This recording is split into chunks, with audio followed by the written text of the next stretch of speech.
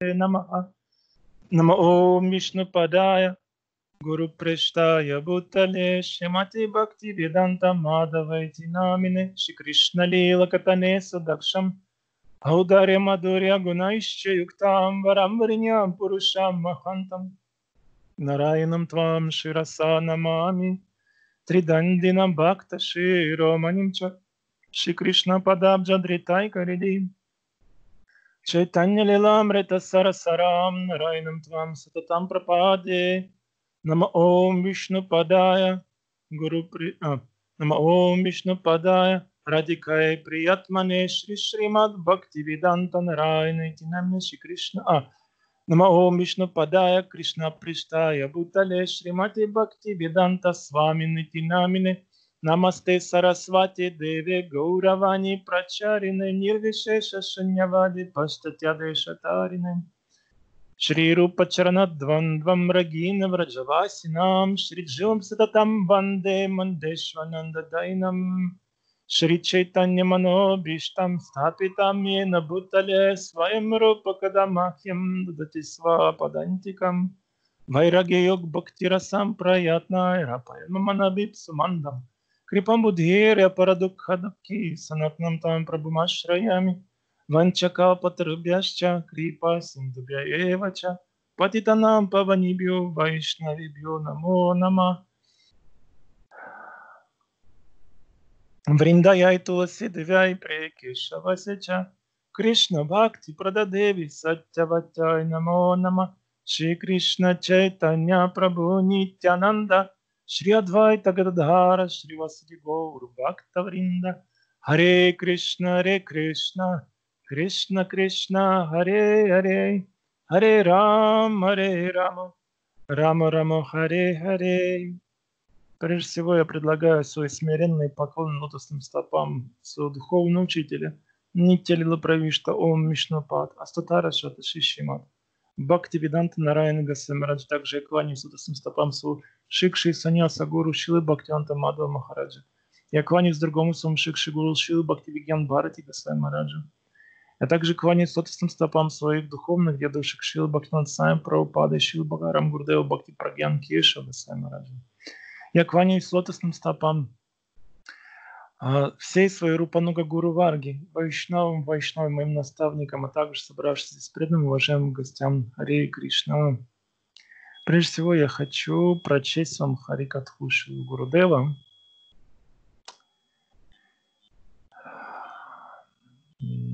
Это от 12 августа 1994 года рассказано в городе Мадхури. Считайте себя неспособными, падшими и лишенными разума. Такое отношение благоприятно для практики преданного служения. Там, где приходит гордость и тщеславие, я ученый, я пандит, я умный, красивый, компетентный, я, я квалифицирован во всех темах, тогда не будет смирения. Смотрите, даже Кришна считается смиренным. Даже если приходит обычный браман, Кришна падает к его стопам и молится. Вот почему, чтобы пред, прямо спустилась к нам, нужно стать смиренным. Это очень важно для практикующих. Я рассказываю о процессе. Стремитесь к тому, чтобы в любой работе, во время разговора, усилий, размышлений о чем-либо, всегда поддерживать смирение. Смирение должно быть таким, как это. Стремитесь к этому. То есть, имеется в виду, как это означает постоянно, то есть во всех действиях. Не пытаться быть тем, кто судит. О, я знаю, это правильно, это неправильно. Поэтому, о, какой негодяй, это плохой, этот такой дурак и так далее. Вот, имеется в виду постоянно. Стремитесь к этому, потому что смирение и према – это синонимы. Всегда старайтесь оставаться смиренными тогда према также будет оставаться, будет с вами постоянной. Там, где теряется смирение, возникает гордость и тщеславие. Я очень способный, квалифицированный, одаренный. Затем, когда кто-то общается с э, вайшнавом, с любым вайшнавом, если кто-то немного, э, даже немного начнет критиковать его, даже не то, что критиковать, не выражать должного уважения, не, не выказывать должного уважения. Вот. И, сейчас, извиняюсь, так. If someone slighted this honor, what will happen? А, понял. То есть, если смирения нет, и кто-то не выразит должного почтения, даже немножечко, то есть, то есть э, э должного почтения с его точки зрения, вот. тогда разъяренный э, этот кто-то будет думать, я настолько достоин, настолько квалифицирован, что они, они меня даже не уважают.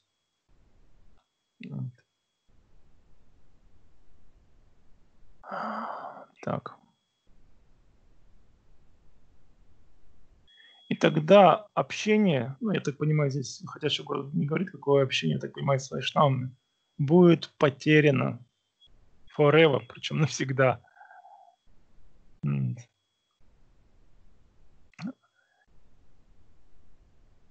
Также, э, как он чувствует, я отличный ученик, я отличный оратор, я большой пок, э, преданный, я большой киртания, э, я очень красив, полно хороших качеств. Тогда, если такой преданный не будет удостоен чести, чтобы он не, куда бы он ни пошел, он думает, никто не чтит меня здесь. Куда бы я ни пошел, я должен быть удостоен чести, то есть уважен должным образом. Тогда он лишается вайшнавского общества. Кто так думает. Вот почему оставаться кротким и скромным. Вот почему оставайтесь кроткими и скромными. Поступайте так, чтобы смирение оставалось неизменным и устойчивым. Поэтому во время разговора, делая что-либо, думая, смирение всегда должно быть а, а, сохранено. То есть всегда нужно следить за тем, чтобы смирение сохранялось. Фактически смирение наступает на стадии созревания премы, то есть подлинное смирение как качество души. А, но также смирение – это часть процесса шаранагати, то есть предание на волю Бога. И вначале, как, а, как я это понял, смирение означает принять свой, свою дхарму, принять свой долг, принять свое положение и, что называется, с миром исполнить его, исполнить веление духовного учителя. Итак, смирение – это украшение. В нашей практике преданности это единственное, что... То есть, э, здесь еще Гурдев так говорит, что непонятно, но в то же время понятно. Он говорит, что в нашей практике преданности это единственное, что расстраивает все, то есть отсутствие смирения. Это приводит к тому, что возникают проблемы в сообществе. Вот. Мы не стремимся к этому сейчас. Гордость всплывает из-за тривиальных вопросов.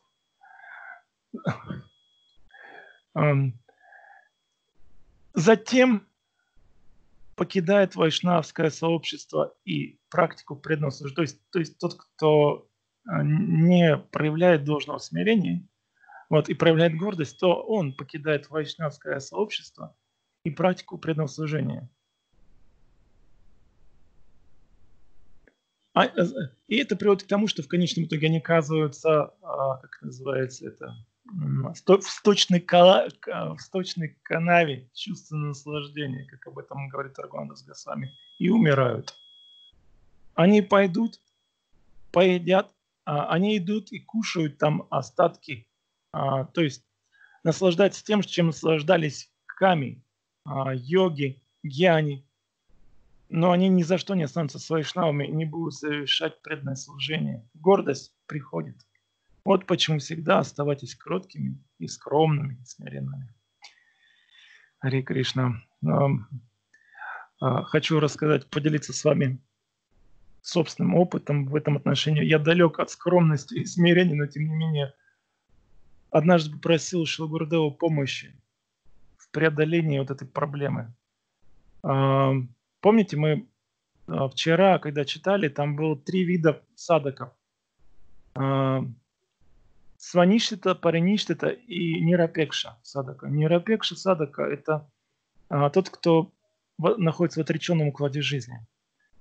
И это, э, у меня была такая проблема, когда я пришел в, э, в Мадх Шилгурудева в Кешу Джигодима в 2002 году, э, я обнаружил в своем сердце следующую проблему, что когда я смотрю на своих духовных братьев грехаст, у меня возникает ощущение их мысли и ощущение, что они никчемные, они никакие. У них нет на самом деле настоящей духовной жизни.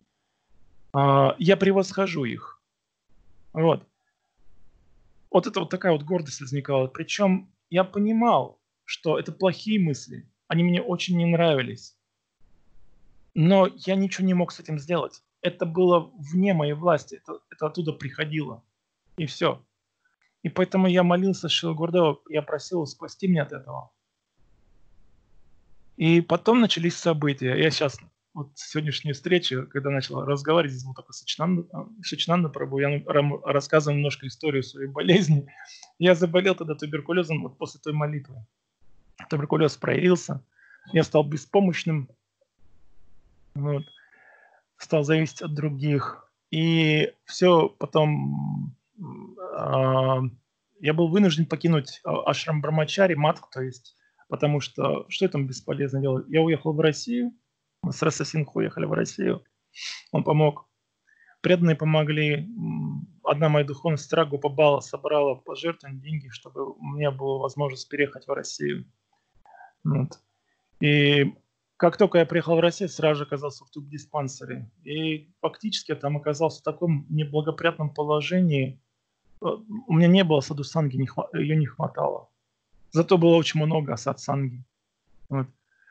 А, общение с людьми, которые не разделяли моих взглядов, а, наоборот. Наоборот, они пытались испытать меня на, на крепость. Вот при этом поддержки я не получал. То есть там не было харикатхи, я не, был, не мог никому прийти, пожаловаться, найти какое-то такое защищенное место.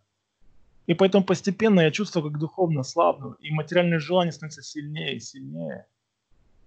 Вот. И тогда я обнаружил, что а чего, вот, вот я думал, вот мои духовные братья, сестры, которые семейные люди, я думал, вот они там, у них нет никакой толком духовной жизни, следуют ли они регулирующим принципам, все в таком духе.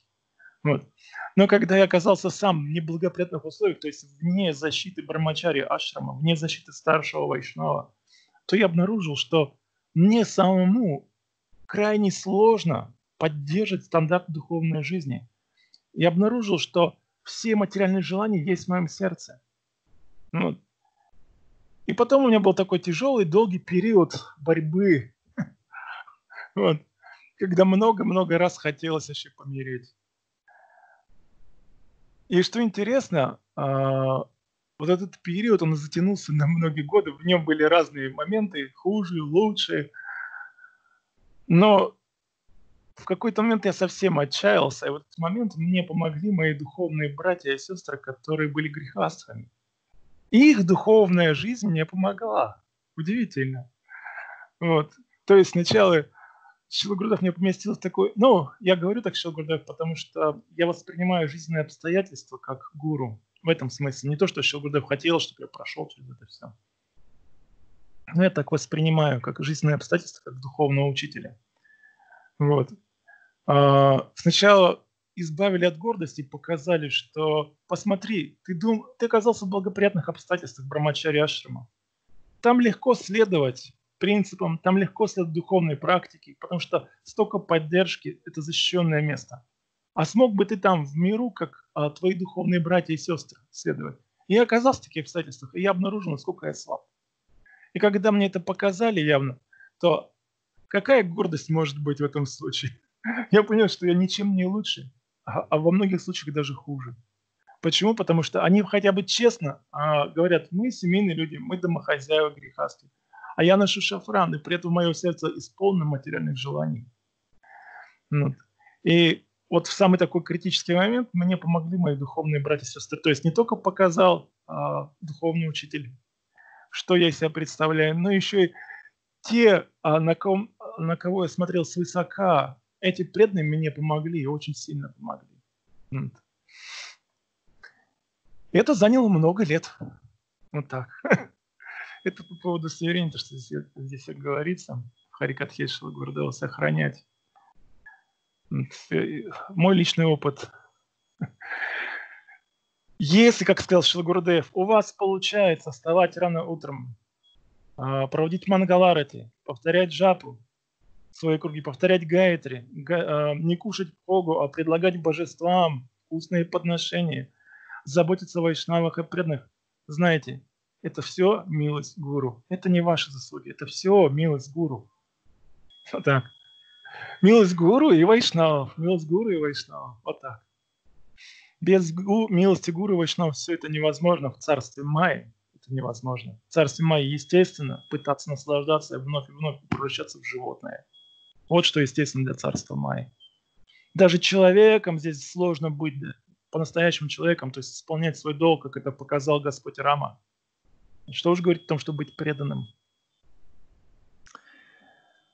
Сегодня у нас э, пятница, потом мы возвращаемся к Баджана Рахасе. Мы с вами читаем вторую главу. А, вторая глава, как э, я постоянно напоминаю, чтобы э, так сказать, это напомнить, вот, чтобы воспринять в ключе. Вторая глава – это объяснение настроения для повторения святого имени Харинам в соответствии со второй шлокой Шикшаштаки. Нам нам акари бахуда ниджа сарва шактиста тарапитанием тасмаране накала. Это дрешитава крипа бхагаван мамапи. Дурдаем дришам эхаджнина нурага. Текст 23. Десять оскорблений святого имени, которые нужно избегать, даются в Падмапуране. Здесь идет санскрит, я его пропущу и прочту перевод. Так, первое оскорбление. Величайшим оскорблением святого имени является критика преданных Бхагаванам. Как Шринама Прабу простит критику великих душ, глубоко преданных ему и распространяющих его славу по всему миру. Поэтому первым оскорблением является критика саду и преданных саду нинда. Это переводится как саду нинда. Сейчас посмотрим санскрит.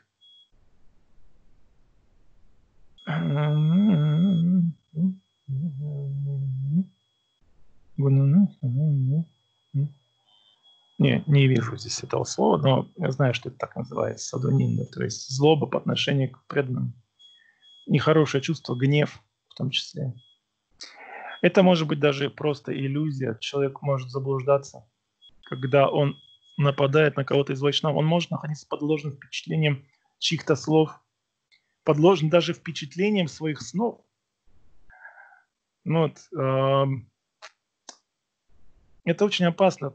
Часто бывает так, что сны, э, потому что это время, когда в том числе влияют духи.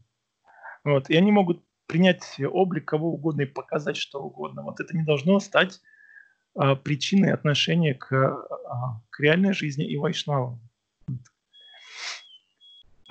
Как, сказал, как говорят наши ачари, как говорил Шила Бхактинта Мадхав Махарадж, наш Гуру Махарадж, он сказал, что нет такой свапна праманы, то есть э, сон не является доказательством, свидетельством.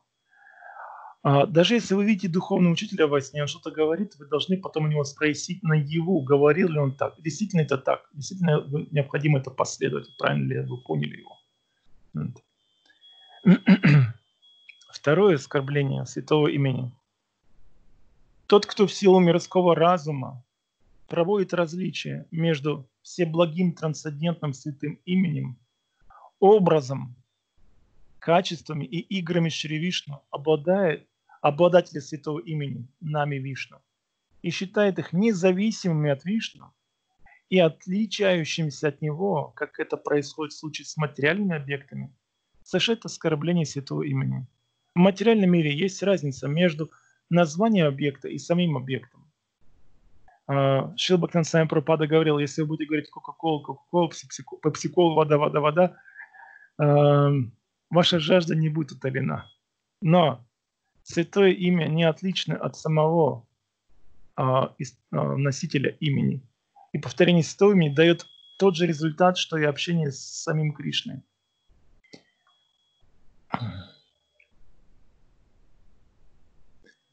Более того, тот, кто думает, что Господь Шива и другие полубоги не зависят от Вишну или подобны Вишну, несомненно, совершает нам аппаратху. К сожалению, это очень распространено в Индии. Вот. А, вот, это, а, вот эта проблема, когда нет понимания, что Кришна – Верховный Господь. Когда Бхактивinoda Свами Прабхупада путешествовал по миру, например, когда он приехал в Австралию и встречался с местной индийской диаспорой, а, он убеждал их и доказывал, что Кришна – Верховный Господь. И спустя какое-то время они это приняли и стали поклоняться Кришне как Верховному Господу. Но когда наш Гурдев приехал, он сказал, я приехал сказать вам, что Кришна не Бог. И эти самые люди, они, они были в шоке. И они смотрели с широко раскрытыми глазами на Шилгурдева. Как так? Бхактан Сами Прабхупад нас убедил, что Кришна Бог. И когда Гурдев понял, что он завоевал их внимание, сказал, успокойтесь, все хорошо, я не собираюсь противоречить Шили Бхактан Свами. Просто поймите, во Враджи он не Бог. Если вы хотите попасть во Врадж, вам нужно будет в какой-то момент забыть, что Кришна Бог. Но они до того момента, пока освободились от анартх и не стали строго следовать, как Шилгур сказал, до обретения ништхи это необходимо, поддерживать такое знание. До обретения а, шаранагати, до развития сильной веры, вот, нельзя оставить это знание. Оно, наоборот, помогает. Знание, что Кришна всемогущ, и знание, что он бхактаватсала, то есть он очень э, любящий, заботлив, помогает предаться ему. Потому что как можно предаться тому, у кого нет силы, и кто безразличен? Но если ты знаешь, что он не безразличен к тебе, и ты знаешь, что он способен тебе помочь в любой момент, тогда э, ведь тогда, зач, тогда, как, э, тогда как это называется? Э, как можно сомневаться?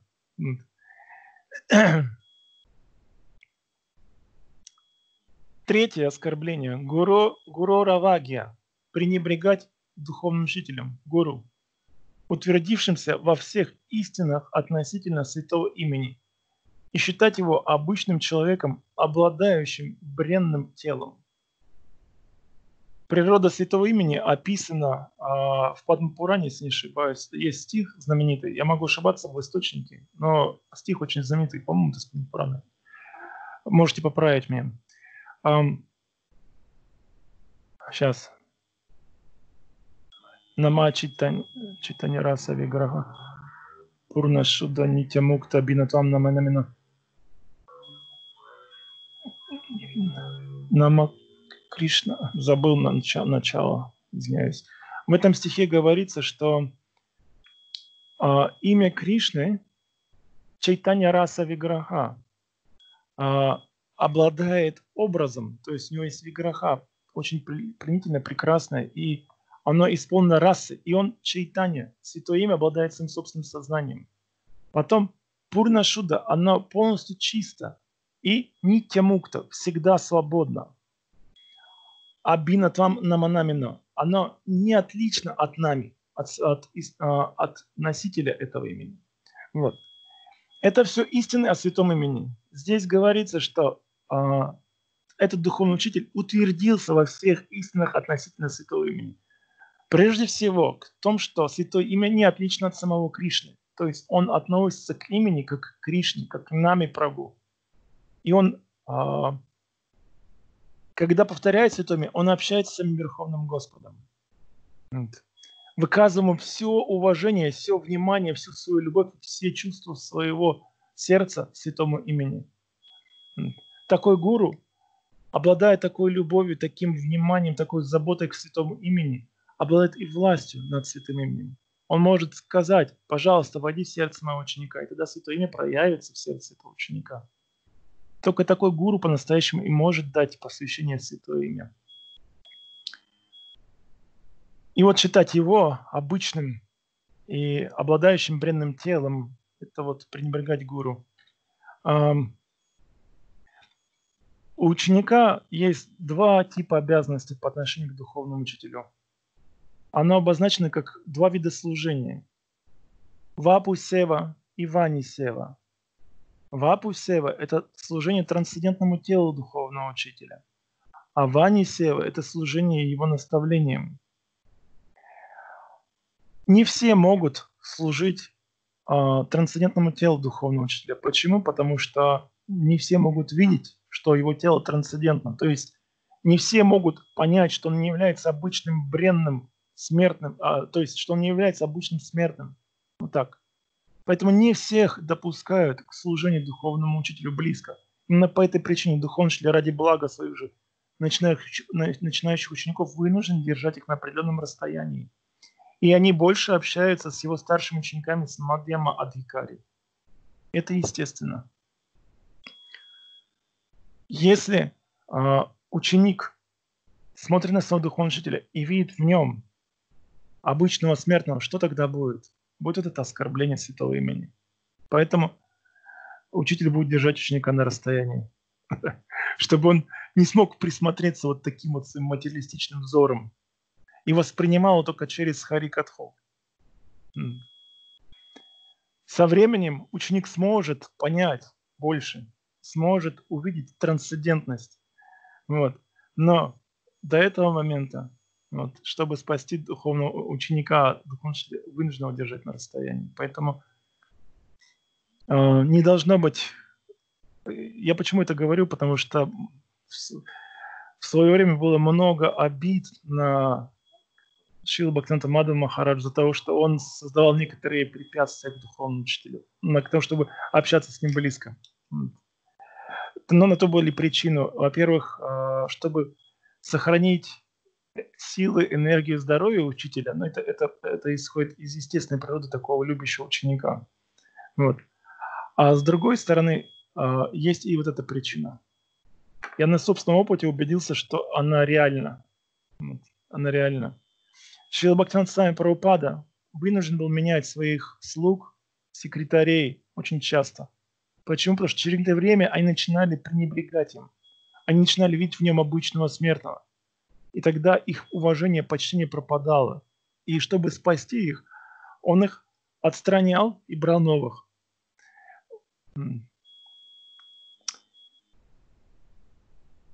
Четвертое оскорбление. Шрути шастра нинданам искать недостатки в ведах, вечных Пуранах и других священных писаниях. Может быть, среди преданных это не очень распространено, западных преданных. Хотя это может быть, например, не выражать должное уважение к разделам вед, которые относятся к категории карма-канда, гьяна-канда, или те писания, которые написаны, Пураны, которые написаны для людей в Тамагуне, где очень странные истории порой описаны. Вот. Надо принять замысел, высший замысел Ведавьяса, который является а, экспансией Господа, литературной экспансией Господа, и с уважением относиться к тем священным писаниям. Итак, еще раз, Шрути нам. Искать недостатки в ведах, а, в вечных Пуранах и других священных писаниях. Например, некоторые считают, что священные писания а, рассказывают сказки. Например, а, не считают, что такие истории, как Рамаяна или Махабхарата, это реальные исторические события. Вот. И то, что там описано, считают преувеличением. А, и так далее и тому подобное.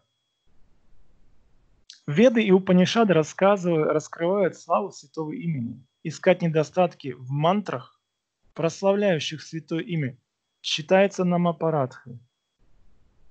К несчастью, некоторые не признают шрути мантры, в которых говорится о славе намы, и отдают предпочтение другим наставлениям шрути. Например, ну, такой наиболее яркий пример – это последователи Шанкарачари. Они признают лишь часть высказываний а, Шрути. А те части, которые, на которые славятся Вайшнава, опровергая их, порой не принимают. Как и, например, а, есть браманы в Индии, которые принимают Шрути, но не принимают Смрити, то есть не принимают Пураны. Считают их делом рук человеческих, а поэтому несовершенных, имеющих недостатки. Но это не, также, также неправильно. Это, это также нама аппаратха. Почему? Потому что все священные э, писания наполнены славой святого имени. Шила Гурдев наш говорил, чем, в чем отличие между хамсой и парамахамсой, то есть тем вайшнавам, тем подвижникам, которые, подобно лебедю, способен отделить молоко от воды, то есть выделить суть ведического послания. Чем он отличается от, чем отличается от этого преданного парамахамса, то есть высший среди преданных? А то, что он все превращает в молоко, все превращает в нектар, любое высказывание вет. Он может трактовать с позиции Кришна Премы, а, славы Шримати Радики и так далее. А, я помню, как Шилшидар Махарадж, по-моему, это было где, в Ачинске, он рассказывал историю, я, я по-моему, тоже я здесь рассказывал, но, может быть, кто-то из вас не слышал, ну, так или иначе, она хорошо подходит. Когда, когда была закончена Рамаяна, перед Вальмики появились три категории живых существ разумных. Люди, демоны и боги. И все претендовали на право первыми получить Рамаяну. И а, Вальмики не знал, как поступить. Тогда он сказал, хорошо, я знаю, кто нам поможет. Изначальный источник Рамаяны, тот, кто ее первым изрек, это Господь Шива. Все шастры сначала проявляются в его сердце, а потом уже при, а, приходит к поэтам, тем, кто их записывает или а, в чем уме эти стихи рождаются, они потом рассказывают людям. И они отправились к Господу Шиве, и Шива сказал, о, хорошо, я поделю между вами Рамаян. В Рамаяне было 100 тысяч стихов. И он разделил Рамаян на три части. 30 а, тысяч вам, 30 тысяч вам, 30 тысяч вам. Осталось 10 тысяч. И он 3 а, тысячи вам, 3 тысячи вам, 3 тысячи вам. Осталось 1000. 300 шлок вам, 300 шлок вам, 300 шлок вам. Осталось 100. 30 вам, 30 вам, 30 вам. Осталось 10. Три шлоки вам, три шлоки вам, три шлоки вам. Осталась одна шлока. А, и как он ее разделил? А,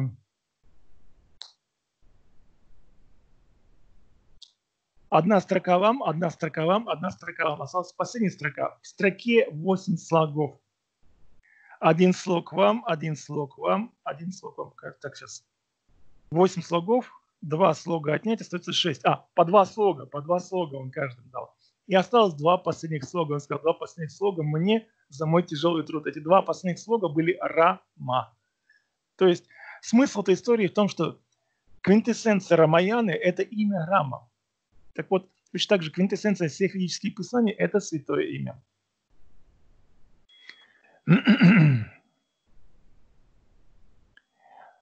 Пятое оскорбление святого имени. Татхартха, Татхартха Вада.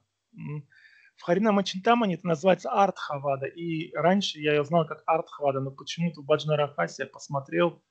В английском издании написано тоже Татхартхавада. В стихе написано Татхартхавада. Я не санскритолог, поэтому я не могу это объяснить грамматически, но я знаю, что если вы обратите внимание на эти 10 оскорблений в Харинама Чинтамане, там это называется Артхавада. Вот. Сейчас узнаем, что это такое. Считать славу Харинамы преувеличением – в Писаниях утверждается, что имя Бхагавана вмещает все его, все его энергии. То есть Святое Имя обладает такой силой, что Святое Имя полностью трансцендентно и потому способно освободить от материальных пут. Все эти прославления Святого Имени являются высшей истиной. Не нужно общаться с теми, у кого нет в них веры, и кто говорит, что шастры преувеличивают славу Святого Имени. Увидев такого безбожника, нужно совершить омовение, не снимая одежды. Таково наставление Шри Чайтани Махапрабху. А, то есть, какой смысл? В ведах есть прославление действий и методов, относящихся к категории карма-канда, а, кармы, благочестивых видов деятельности, гьяны, аштанга-йоги. И чтобы будить живое что действовать на этом пути ради незначительных плодов, и идти по этому опасному, трудному пути, Веда, что называется, э, то есть проявляет цветистый язык. То есть она говорит очень красивыми словами, очень много обещаний. Это самое лучшее, это самое удивительное и так далее и тому подобное. Вот. А, тогда такая верная супруга проведет а, со своим мужем 100 миллионов лет на Вайкунхе. Вот так. Если она соблюдет а, Акшая Тритию. К примеру. Наши учари говорят, вот это артхавада, то есть это преувеличение. Это специально так говорится, чтобы живое существо привлечь к этим незначительным плодам, этим а, не самым легким путям, чтобы как-то побудить их быть в рамках, чтобы быть цивилизованными, следовать веде, то есть следовать воле Бога, и таким образом, находясь в соприкосновении с волей Бога, с ведами очищаться. Для, ради, ради этого. Но все, что касается святого имени, это не привлечение. История от Джамилы, все, что нам говорят, то, что одно свят... произнесение одного святого имени, даже не то, что святого имени, намабхас. Вот эти четыре грубых формы намабхаса. Достаточно, чтобы избавить живое существо от последствий всех грехов, которые оно совершило прежде, за миллионы рождений. Вот. И это не является артхавадой. Вот. Это даже преуменьшение славы святого имени. Шестое оскорбление. Харина мни калпанам.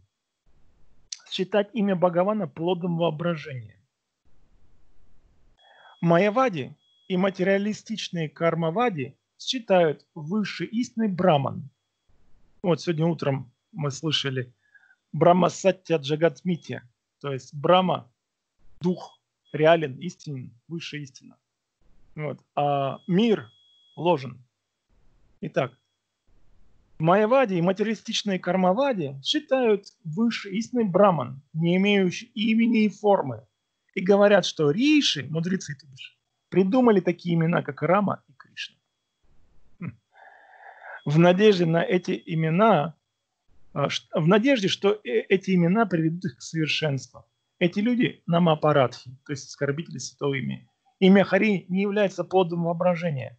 Оно вечно и трансцендентно, и проявляется благодаря бхакти посредством трансцендентных чувств. Такие наставления дают истинный, такие наставления дают истинный гуру и шастры. Нужно сознать, что проявление Харинамы в высшей степени истины. Тот, кто считает эти прославления плодом воображения, никогда не сможет обрести милость святого имени. То есть, если в предыдущем говорилось о преувеличении, здесь считать, что это, это ложь, что это иллюзия. Понимаете различие? Седьмое оскорбление. Тот, кто продолжает совершать греховную и материальную деятельность, надеясь на очистительную силу святого имени, никогда не очистится, даже практикуя такие процессы аштанга-йоги, как яма, ньяма, дьяна или дхарана. В этом нет никаких сомнений. Вот. Это очень важно. Много из этого, может быть, преданные не совершают оскорблений, по крайней мере, в явном таком грубом виде. Но вот а, эта проблема существует. Ну, когда, не, а, когда человек совершает, преданный совершает грех, рассчитан на очистительную силу. Но есть все-таки кое-какая разница – а, есть неспособность последовать наставлениям, но при этом принятие в сердце этих наставлений. То есть, когда ценности приняты сердцем, но есть еще неспособность последовать. Это одно. А другое дело, когда человек думает, о, я нашел такой классный, хитрый способ, как обмануть судьбу. Я сейчас нагрешу, а потом повторю святое имя и избавлюсь от этого. Вот в этом есть разница. Это надо а, понимать. Хотя преданный будет помнить вот это оскорбление. Восьмое оскорбление. Считать религиозность, обеты, отречение, огненное жертвоприношение и другую благочестивую деятельность равной или подобной повторению трансцендентного имени Бхагавана. Это является признаком невнимательности, пренебрежения и считается оскорблением. То есть относить повторение святого имени к разделу Вед Кармаканды – то есть к обычной к материальной деятельности. Хотя тут до этого говорилось, что Святое Имя – это всецело духовный процесс. Оно проявляется, по милости высших сил, оно проявляется в сердце и на языке преданного. Давать нас, девятое оскорбление, давать наставление относительно славы святого имени безбожникам, не имеющим склонности к слушанию и повторению, также является нам аппаратом. И десятое. Тот, кто, услышав об изумительной славе святого имени, сохраняет концепцию «Я есть это материальное тело, и материальные объекты чувственного наслаждения принадлежат мне», а также тот, кто не проявляет настойчивости или привязанности к повторению членам и считается на аппарате. Вот. Комментарий Бхактатакура здесь а, очень короткий, потому что исчерпывающее объяснение в, в самих объяснениях а, этих оскорблений. Искусство намабаджана, то есть повторение святого заключается в том, чтобы совершать баджан в обществе преданных, внимательно избегая 10 оскорблений то есть в обществе преданных, происходит а, то, что а, ему помогут этому преданному обратить внимание на эти оскорбления и помогут превзойти эти оскорбления. На этом я закончу. Если у вас вопросы, дополнения или исправления.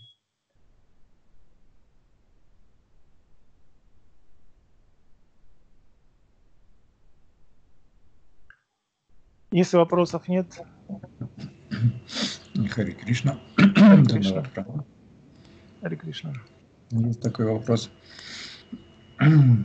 Вот вы прочитали или рассказывали истории, когда гуру не, ну, не подпускает учеников близко к себе, да?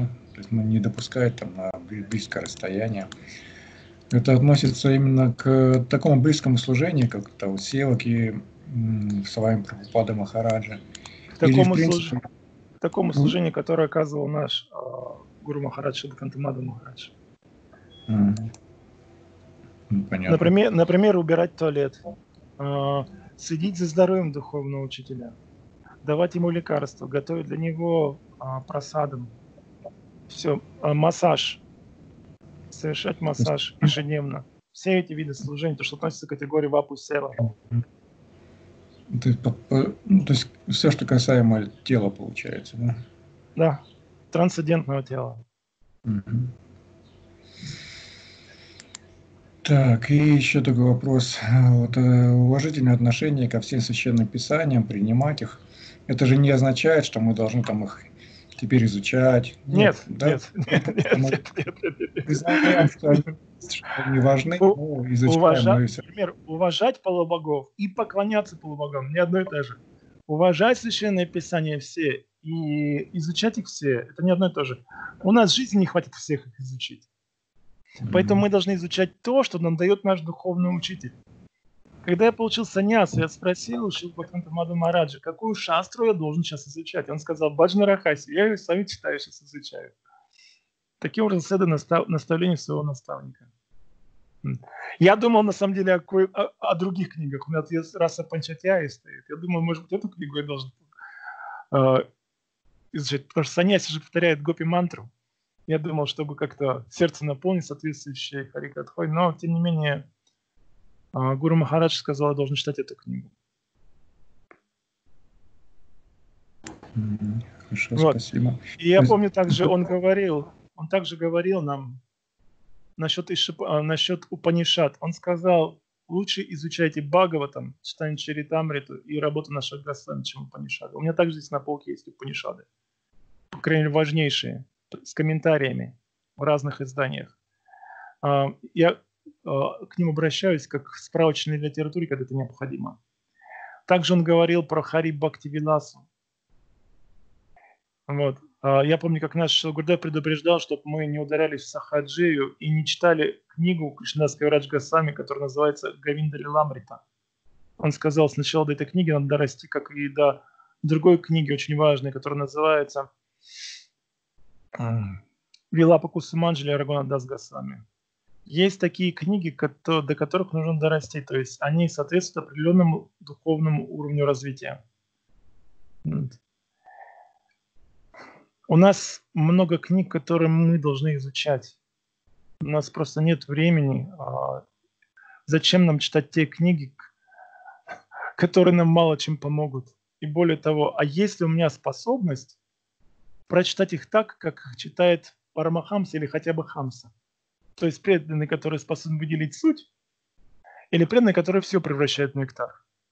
Не получится ли так, что я прочитаю, у меня в голове возникнет куча сомнений, я буду сбить, сбить с толку другой точкой зрения, э, и, или я даже увлекусь вообще посторонними идеями, и жел... у меня появятся совершенно левые желания, связанные с сваргой и так далее. Поэтому эта книга не для нас. Когда э, Парам Гурудеев пришел э, получить даршин Вамшидас Бабаджи Махараджа, там был духовный брат, который служил этому возвышенному Вайшнаву по велению Баксан Сарасвати. И Вамшидас Бабаджи Махарадж вынес чай, который был просадным, он его предлагал божествам. И предложил им. Этот преданный предложил Парам Гурудеву этот чай. Парам Гурудев сказал, нет, я понимаю, что это просад, но это не мой уровень принять этот просад. Я не смогу это переварить. Например, божества могут предложить бетель, но вайшнавы не принимают бетель. Надеюсь, я смог как-то ответить. Да, спасибо. Хари Кришна. Тогда Хари Кришна. я благодарю вас за возможность общения с вами, за то, что даете возможность мне погружаться в Хари Катхо До встречи. Хари Кришна. Дандаваты, спасибо, Рибон. Дандават, Радраманджи. Дандаваты. Карунамай Диди. Хари Кришна.